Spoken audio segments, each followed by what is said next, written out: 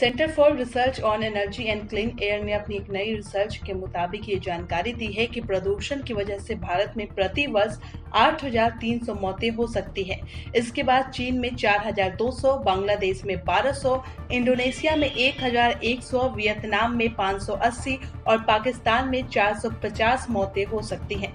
अध्ययन पर्यावरण संगठन मार्केट फोर्सेस द्वारा अप्रैल 2021 की जाँच पर आधारित है जिसमें दिखाया गया है कि एच अपने परिसंपत्ति प्रबंधन शाखा के माध्यम से कोयला कंपनियों में स्वामित्व रखता है।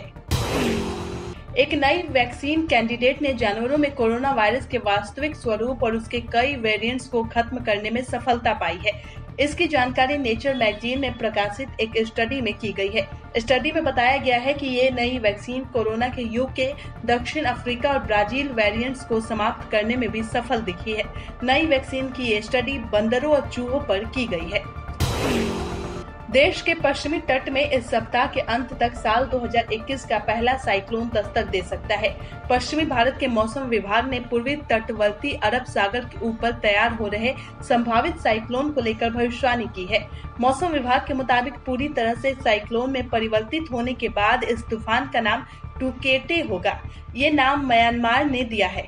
ये भी कहा गया है कि इसके प्रभाव से लक्षद्वीप के तटीय इलाकों के अलावा गोवा कर्नाटक केरल और महाराष्ट्र में बारिश देखने को मिल सकती है पश्चिम बंगाल के विभिन्न हिस्सों में मंगलवार दोपहर बाद आए तूफ़ान और भारी बारिश से आठ लोगों की मौत हो गई।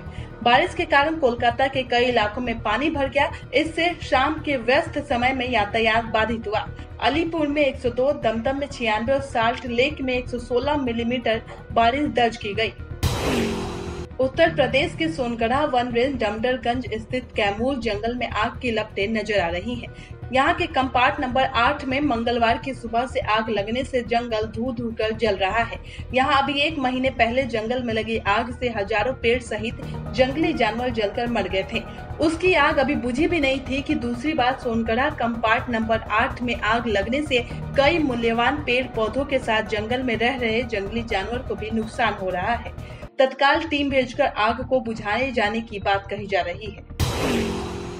लद्दाख में चीन से सटी वास्तविक नियंत्रण रेखा की सुरक्षा का जिम्मा संभालने वाली इंडो तिब्बतन बॉर्डर पुलिस पर्यावरण को बचाने के लिए भी मैदान में मौजूद है। आईटीबीपी के जवान सीमा पर सुरक्षा बनाने के साथ साथ क्षेत्र में निरंतर स्वच्छता अभियान भी चलाते हैं। इस वक्त भी आईटीबीपी के अधिकारी और जवानों ने लद्दाख के विश्व प्रसिद्ध पेंगांग झील को साफ़ सुथरा रखने की कार्रवाई कर रहे हैं। जवानों ने झील के किनारों पर सफ़ाई अभियान चलाकर वहाँ एकत्र कई टन कचरे को हटाया। देवप्रयाग में मंगलवार देर शाम बादल फटने के बाद मूसलाधार बारिश हुई है। इतना ही नहीं, बादल फटने की वजह से कई बिल्डिंग और दुकानें ढह गई। बादल फटने से यहाँ भारी नुकसान हुआ है, जिसके बाद आज मौसम विभाग ने उत्तराखंड में भारी से बहुत भारी बारिश का अलर्ट जारी किया है।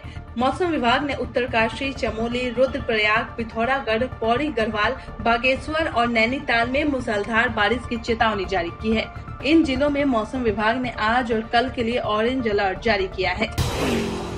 देश भर में कोरोना का लहर बेकाबू है। स्वास्थ्य मंत्रालय की ओर से जारी ताज़ा आंकड़ों के मुताबिक पिछले 24 घंटों में तीन लाख अड़तालीस हज़ार चार सौ इक्कीस नए कोरोना केस सामने आए और इस दौरान चार हज़ार दो सौ पाँच संक्रमितों की मौत हो गई। हालाँकि तीन लाख पचपन हज़ार तीन सौ अड़तीस लोग इस दौरान ठीक भी हुए हैं। इसके साथ ही कुल कोरोना के केस बढ़कर दो करोड़ तैतीस लाख चालीस हज़ार नौ सौ अड़तीस हो चुकी है। वहीं कोरोना से ठीक हो चुके मरीजों की कुल संख्या एक करोड़ तिरानवे लाख बयासी हज़ार छह सौ बयालीस हो गई है। कुल एक्टिव केस सैतीस लाख चार हज़ार निन्यानवे है। वही कोरोना से कुल मौतों की संख्या जो है वो दो लाख चौवन हज़ार एक सौ संतानवे पहुँच गई है। मौसम विभाग के मुताबिक देश में पश्चिमी विक्षोभ के सक्रिय होने का असर कई राज्यों में बारिश के रूप में देखने को मिल सकता है।